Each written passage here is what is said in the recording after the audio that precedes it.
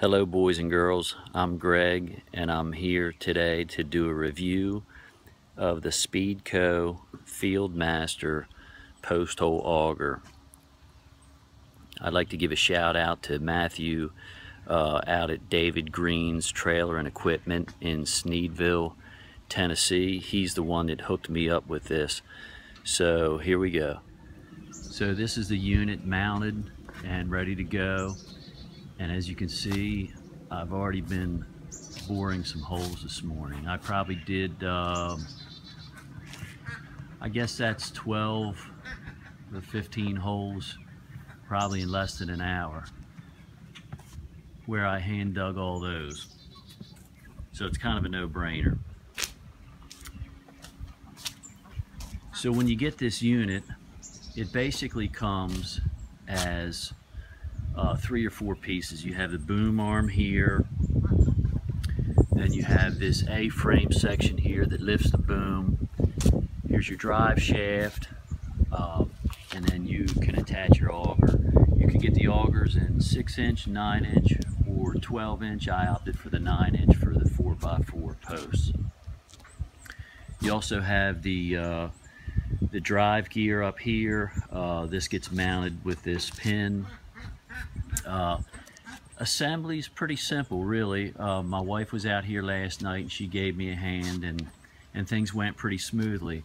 Um, Matt out at uh, David Green assured me that this would fit on my uh, Kubota BX 2200. This was brand new in the year 2000, a subcompact utility. Um, so everything went without a hitch. The only issue that we had was this U-shaped tongue slips down in here and that pin goes through. Because you can see that tongue looks a little bit bent. And it is because I had to take a vise and crank it in some so it would fit in there.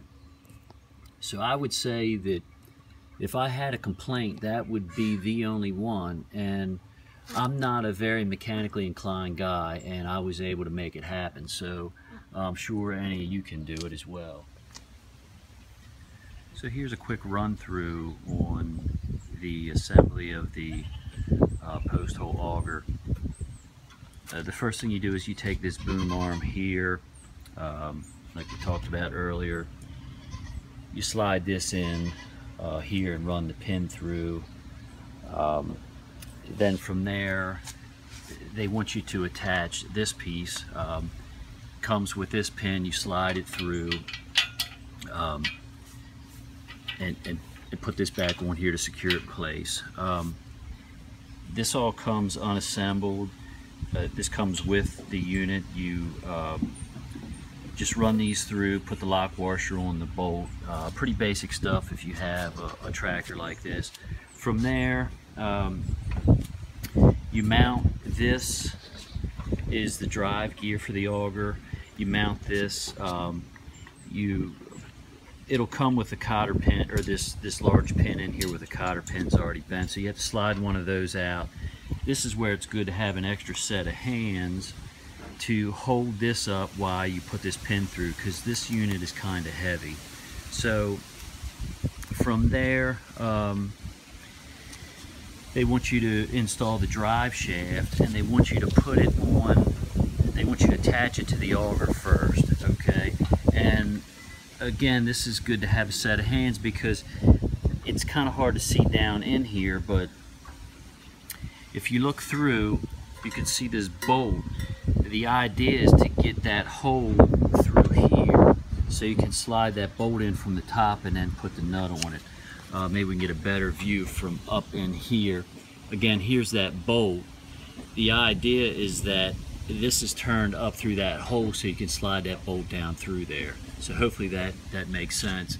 Um, from there, you attach the uh, drive shaft to the power takeoff and that's like a spring-loaded sleeve. You pull it back um, and you kind of you feel your way onto it and then once you have it in there right you release it and it just couples on there. Um, then of course from there you can attach uh, your auger. Again, it's the same kind of deal as attaching the drive shaft to the, um, the, the gear unit itself. You can see that bolt through that hole there. So you have to uh, get get the positioning just right and slide the bolt through this hole, or in this case, you can see it from this side. And this is the top one, and you can see in the background here, this is the top hole, and then this, this bolt is for the bottom hole, and you can see it here. So it takes a little bit of uh, tweaking to get those lined up so you can slide the bolt holes through, or the bolt through there. Once you do that, it's just a bolt, I think that's like a half inch.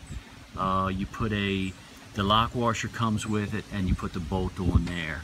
Um, so now you have everything attached. The only other thing that you'll need to know is this auger comes without uh, gear oil. I think the manual calls for an EP 90 weight gear oil, which I picked up at Tractor Supply. Um, that goes in here. You simply take this plug off and they want you to fill it up to this plug if I understood the instructions correctly um, I tried to remove this just so I could see that that it was going to fill uh, right but this was on here pretty good so I opted not to do that but we ended up buying I think it was a 32 ounce uh, bottle and then they call for 25 ounces so you can also do it by the gauge on the bottle um, this here um, is kind of handy. I think it would probably be better as like a beer holder, but um, it attaches here for your handy dandy instructions and probably whatever else you want to put in there. So anyway, that's the basic uh, the basic assembly. It, it, it probably took um, I would say from start to finish it would take you probably probably less than an hour from start to finish. So um, I've used it to bore some holes and uh, I'm very happy with it so far. It's a fantastic unit. Thanks for watching.